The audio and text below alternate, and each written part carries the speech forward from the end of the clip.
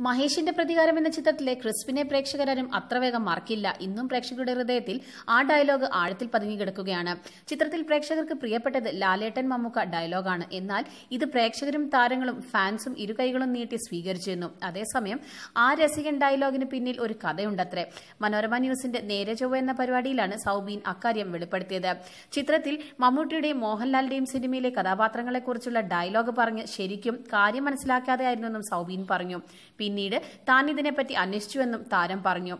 മമ്മൂട്ടിയുമായി ഒരു ബന്ധം സൌബീനുണ്ട്. ആ കഥ പലർക്കും അറിയില്ല. അത് സൌബീൻ അഭിമുഖത്തിൽ പങ്കുവച്ചിരുന്നു. മമ്മൂട്ടിയുടെ ഹിറ്റ് ചിത്രമായിരുന്ന ക്രോണിക് ബാച്ചിലെ സഹസംവിധായകനായിരുന്നു സൌബീൻ.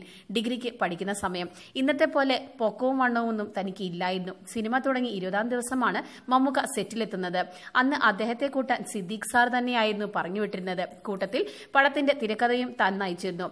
താജിലായിരുന്നു മമ്മൂക്ക താമസിച്ചിരുന്നത്.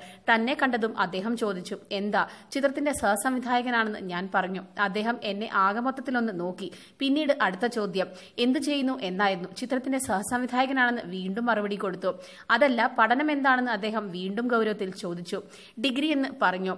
കംപ്ലീറ്റ് ചെയ്തു എന്ന് വീണ്ടും ചോദ്യം. ഇല്ല ആദ്യ വർഷമാണെന്ന് പറഞ്ഞു. എങ്കിൽ നീ പൊക്കോ? പഠിത്തം കഴിഞ്ഞ് വന്നാൽ മതി. ഞാൻ സിദ്ദീഖിനോട് പറഞ്ഞോളാമെന്ന് മമ്മൂക്ക പറഞ്ഞു.